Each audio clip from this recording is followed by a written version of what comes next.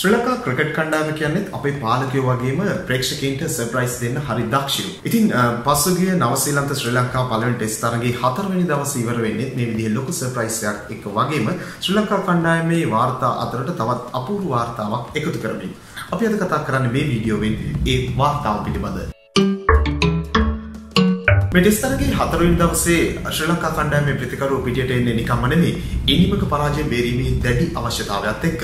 මේ විදිහට පිටියට එන ප්‍රතිකරුව මුල් කඩලු තුනම ලකුණු 13කට දැවී යද්දී ශ්‍රී ලංකා ප්‍රතිකරුව විදිහට පිටියේ ඉතුරු වෙන්නේ පසුගිය කාලේ බලධාරීන් නිරන්තරයෙන් ටෙස්ට් තරගයකට මුහුණ දෙන්න තරම් යෝග්‍යතාවයක සිටිනවාද කියන ප්‍රශ්නාර්ථයෙන් නතු කරපු ඇන්ජලෝ මැතිව්ස් එක්ක ප්‍රේක්ෂකින්ගෙන් දිගුන් දිගටම චෝදනා ලබපු කුසල් මෙන්ඩිස් කියන දෙන්න. හැබැයි මේ දෙන්න ලොකු සාධාරණයක් කණ්ඩායමට කළා. ඒ තමයි හතරවෙනි දවසේ උදෑසන පිටියට පෙවිසිලා හතරවෙනි දවසේ අවසානයේ ඔවුන් ඔවුන් දෙදෙනාම තමයි පිටින් ක්‍රීඩකයෝ විදිහට ඉවත්තු ගියේ. ඒ කියන්නේ ඒ දවස පුරා නවසීලන්ත පන්දුවවන්නන්ට ඔවුන්ගේ නමට කිසිදු කඩුල්ලක් ලබා ගන්න ශ්‍රී ලංකා ප්‍රතිකරුවෝ විදිහට ඇන්ජලෝ මැතිව්ස් සහ කුසල් මෙන්ඩිස් කියන මේ ප්‍රතිකරුවෝ දෙන්න කිසිසේත්ම අවස්ථාවක් ලබා දීපු නැති එක. මේ විදිහට තමන්ගේ කිසිදු කඩුල්ලක් ලබා නොදී කඩුල්ලේ රැඳී සිටීමේ මුළු දවසක් පුරා කඩුල්ලේ රැඳී සිටීමේ අවස්ථාව 22ක් පමණයි ටෙස්ට් ක්‍රිකට් ඉතිහාසයේ පුරා වාර්තා වෙන්නේ. එහි පළවෙනි වාර්තාව සටහන් වෙන්නේ එංගලන්ත කණ්ඩායමේ සුපිරි ආරම්භක ප්‍රතිකරු යුගලයක් වන ජැක් හොබ් සහ හර්බර්ට් සර්ට්ලිෆ් කියන දෙන්නා 1925 දී ඕස්ට්‍රේලියා කණ්ඩායමට එරෙහිව තරගයකදී දක්වපු දක්ෂතාවය. මේ විදිහට දවසක් පුරා කඩුලේ රැඳී සිටමින් වැඩිම ලකුණු අරගෙන තියෙන්නේ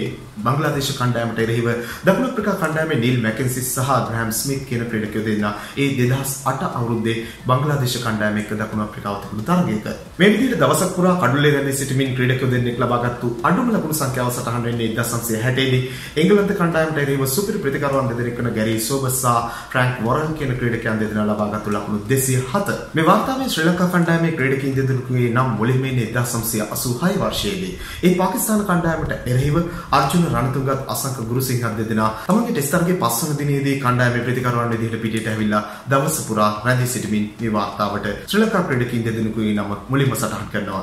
ඊට පස්සේ 1997 වර්ෂය කියන්නේ ශ්‍රී ලංකා කණ්ඩායම පැත්තෙන් බැලුවම වාර්තා ගොඩක් අලුත් වෙච්ච වර්ෂයක්. මේ වර්ෂයේදී සනත් ජයසූරිය සහ රොෂාන් මහනාම ඉන්දියා කණ්ඩායමට එරෙහිව දින දෙකක් කඩළු ලබා නොදී කඩුලේ රැඳී සිටීම තමයි ටෙස්ට් ක්‍රිකට් ඉතිහාසයේ කණ්ඩායමක ක්‍රීඩකින් දෙදෙනෙක් මේ විදිහට දින දෙකක් පුරා කඩුලේ රැඳී සිටීමෙන් ප්‍රතිවාදීන්ට කඩුලු ලබා නොදීමේ ඉදිරියේම සටහන් වෙන්නේ සනත් ජයසූරියත් රොෂාන් මහනාමත් මේ විදිහට 1997 දී ඉන්දියා කණ්ඩායමට එරෙහිව කඩුලේ රැඳී සිටපු එක. ඉතින් මේ වාර්තාවේ අලුතෙන්ම නම ලියාගන්නේ ඇන්ජලෝ මැතිව්ස් සහ කුසල් මෙන්ඩිස්. ඒ නවසීලන්ත කණ්ඩායමත් එක්ක පසුගිය ටෙස්ට් තරගයේ හතරවෙනි දවසේදී කඩුලේ රැඳී සිටමින් කිසිදු කඩුලක් නවසීලන්ත කණ්ඩායමට ලබා නොදී ලකුණු 239ක් මේ ක්‍රීඩකයෝ දෙන්නා එක්ක කණ්ඩායමට එකතු කරලා.